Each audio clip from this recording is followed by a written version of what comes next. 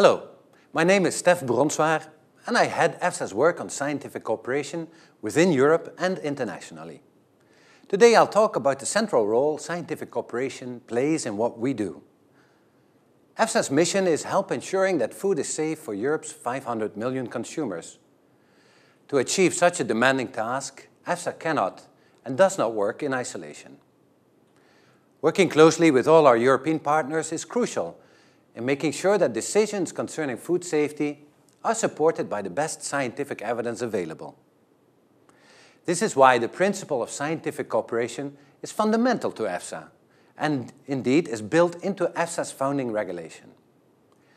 Scientific cooperation takes place through our work with member states, scientific organizations, and individual experts. Firstly, the member states. All countries have national authorities that are responsible for food safety. EFSA works hand in hand with them, mainly through the Advisory Forum. This forum brings together heads of national agencies responsible for food safety from all over Europe, as well as Iceland and Norway.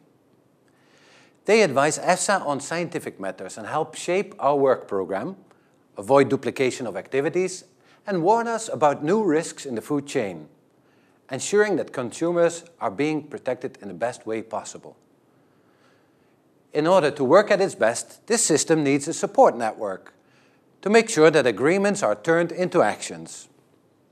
Therefore, all member states have appointed focal points who work together with EFSA to share information and use a wide range of tools to pool risk assessment expertise. Together, we also aim to strengthen this expertise and do so by sharing training opportunities and sharing expertise from different countries. Cooperation is crucial also to the collection of accurate and harmonized data from across Europe. This allows EFSA to understand, for example, how often foods are contaminated with bacteria or chemicals and at what levels. This information, combined with reliable data on people's eating habits also means we can assess to what extent consumers are exposed to a certain hazard. Another important way in which we promote scientific cooperation is by working with selected scientific organizations.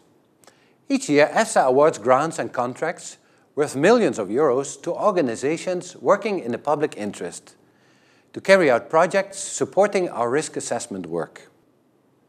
Finally, tapping into the knowledge of thousands of individual experts, scientific experts throughout Europe and wider, is another important way in which EFSA champions scientific cooperation. To this end, together with the member states, we have assembled a database of about 4,000 external experts who we can call on to support our scientific work. Working together is essential to ensure that Europe's food remains safe.